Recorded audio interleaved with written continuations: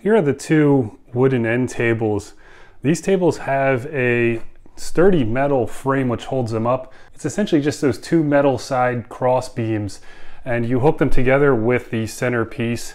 It goes together really easy. It assembles in just a couple minutes. And once they're together, they're super sturdy and they look really great. You have a lower open air shelf here for displaying whatever you'd like. And then a cabinet drawer here, which has plenty of storage space inside. You could fit a ton in there. It's super sturdy, very solid. And you have a beautiful wood grain top here. It's this dark wood stain. Very sturdy, well engineered, well put together. Instructions are clear, very easy to put together.